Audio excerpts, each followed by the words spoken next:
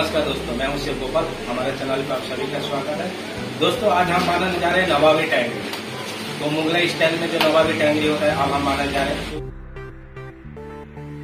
आप लोग देख रहे हैं, ऐसे चिकन को मैंने कोड ऑलरेडी लगा लिया है। तो आप लोग सेम ऐसे ही दाग लगा लीजिए।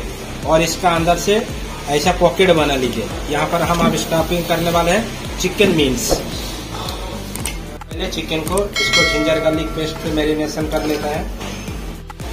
दोस्तों, अब हम ऐड करते हैं, यह है थोड़ा सा लेमन जूस थोड़ा सा रिफाइन ऑयल अब इसको अच्छा से मैरिनेट कर लेते हैं। तो दोस्तों, ये मैरिनेट चिकन में, ऐसा इधर पे, आप लोग ये देख रहे हैं चिकन मीन्स है, इसको अच्छा से स्टॉक कर लीजिए। ये आप लोग देख रहे हैं चिकन कीमा, मैं ऑलरेडी इसको भून लिया।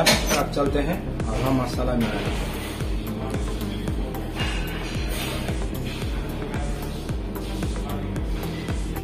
दोस्तों, अब हम ऐड करते हैं, इसमें आप देख रहे हैं, यह भुना हुआ बेसन, काजू पेस्ट, और चीज़ का paste green chilli paste brown onion paste ये देख रहे हैं brown onion paste ginger garlic paste salt salt जीरा पाउडर इलायची powder white pepper powder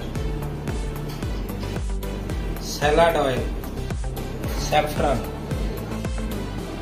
rose water केवड़ा वाटर अब हम ऐड कर रहे हैं थोड़ा सा मैश पाउडर यह है जायफल का पाउडर अब हम ऐड करते हैं थोड़ा सा रोज पेटल हम ऐड कर रहे हैं थोड़ा सा चाट मसाला फ्रेश क्रीम यह कर्ड हैंग किया हुआ कर्ड और इसको अच्छा से मिला लेते हैं.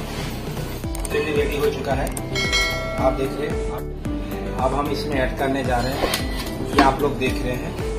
चिकन को जो स्टाफ करके रखा था ड्रम स्टिक अब हम इसे ऐड करने जा रहे हैं। तो दोस्तों, आप लोग देख रहे हैं, इसमें ऑलरेडी मैंने स्टफिंग करके रखा है। तो आप लोग इस चिकन को ऐसे ही मिलाए, आराम से, ऐसा ही आराम से थोड़ा मिला के आप लोग ऐसा रख सकते हैं। क्योंकि चिकन जो होता है, वो बाहर निकल जाएगा। तो आप लोग सिर्फ़ ऐसा ही वन बाय वन अच्छा से इसको मसाला का साथ मिला के ऐसे ही रखिए और इसका बाद अब हम इसको तंदूर में ग्रिल करेंगे। तो दोस्तों, ये है नवाबी कैंडी अच्छा से आप लोग बाटर डाल के इसको पूरा चारकोल ग्रिल में पूरा रोस्ट कर लीजिए। ये देखिए तंदूर।